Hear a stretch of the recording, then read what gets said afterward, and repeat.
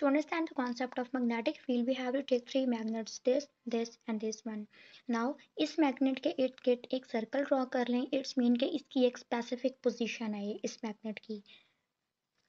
उसके बाद इस मैग्नेट को आहिस्ता आहिस्ता इस मैग्नेट के करीब लेते जाएँ लेके जाते जाएँ।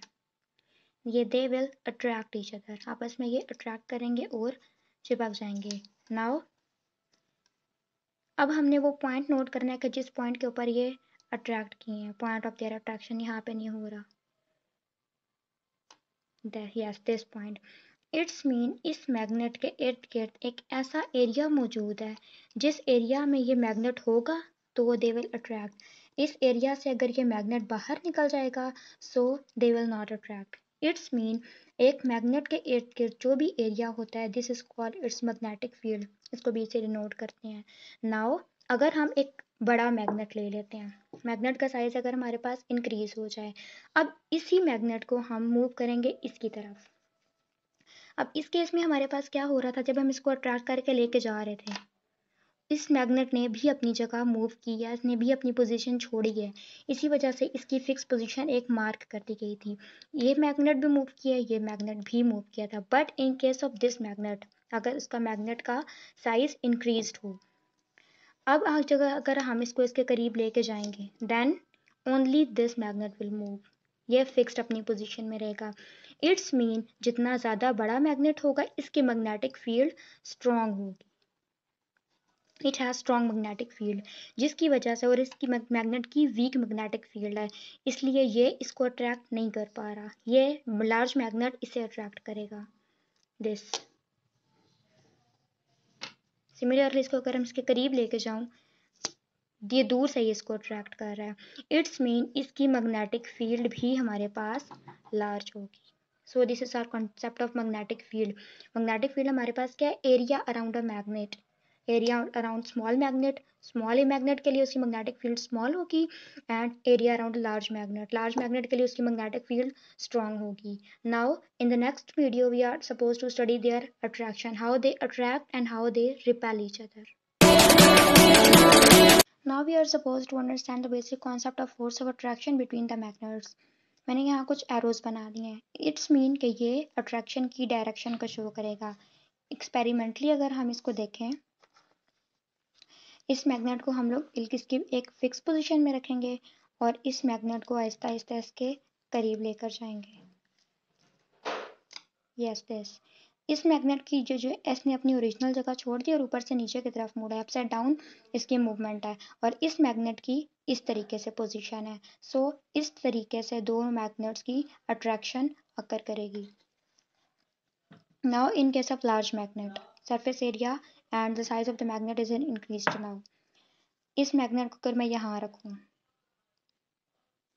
और ऐसा ऐसा इसके करीब लेके जाते जाऊँ यस दस इस केस में ये वाला मैग्नेट मूव नहीं किया ओनली ये वाला मैग्नेट मूव किया। तो so, इसकी डायरेक्शन इस डायरेक्शन में है।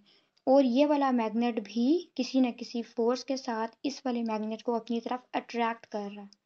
So this is called force of attraction जो जब दोनों मैग्नेट्स एक दूसरे की तरफ़ जाएँगे towards each other so this is called the force of attraction between the magnets and the other thing we really know that ये जो मैग्नेट होता है हमारे पास, इसके दो पोल्स होते हैं बार मैग्नेट के। एक नॉर्थ पोल होता है हमारे पास और एक साउथ पोल होता है।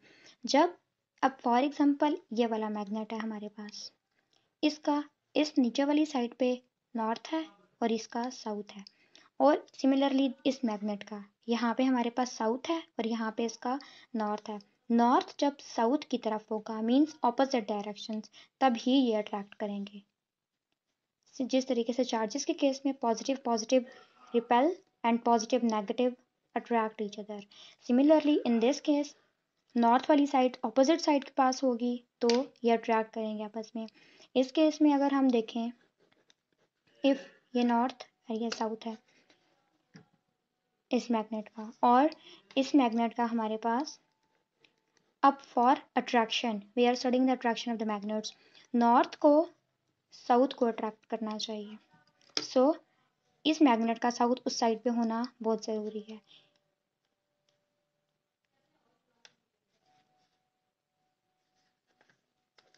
Yes yes. पहले क्या हुआ था? डायरेक्शन ऑपोजिट हो गई थी। दिस मीन्स के unlike sides attract each other like this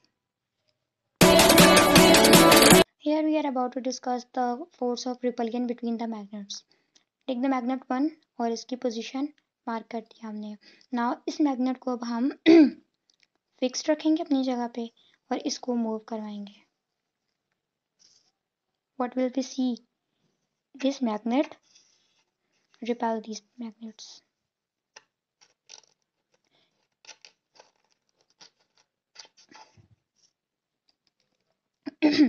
अब मैंने क्या किया था? यहाँ पे इस मैग्नेट को पकड़ के रखा था। इट्स मीन के I am applying force on this magnet तो जितनी फोर्स मैं अप्लाई करूँगी, इतनी ही ज़्यादा फोर्स के साथ ये वाला मैग्नेट इसको रिपेल करेगा, पीछे की तरफ़ धकेलेगा। वो यहाँ पे मूव कराया था। अगर मैं फोर्स नहीं लगा रही तो फोर्स ऑफ़ रिपलियन इतनी ज़्यादा एग्जिस्ट नहीं करेगी।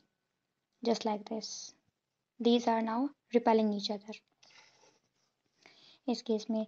And when I am applying force on this magnet अब मैंने फोर्सफुली इन दोनों को एक साथ रखा है। बट मैं जब एक मैग्नेट को छोड़ूँगी तो फोर्स ज़्यादा होगी। इट्स मीन इनकी जो डायरेक्शन है वो ये होगी। और एज फोर्स इंक्रीजेज तो फोर्स ऑफ़ रिपलियन भी इंक्रीज होगी। क्लियर नाउ अगर हम लार्ज मैग्नेट की बात करें। This is our large magnet और ये हमारे पास स्मॉल मैग्नेट है। इसको हम इसके करीब लेके जाते हैं। अब अगर मैं पेन रिमूव कर दूँ ऑपोजिट डायरेक्शन में ये रिपेल हो रहा है। इसके केस में हमने क्या देखा था कि थोड़ी सी रिपलियन हो रही थी बट क्योंकि इसकी मैग्नेटिक फ़ील्ड ज़्यादा है मैग्नेटिक फ़ील्ड इसकी ज़्यादा होने की वजह से इसकी जो फोर्स ऑफ़ रिपलियन है वो भी ज़्यादा होगी। It's direction is changes that's why it attracts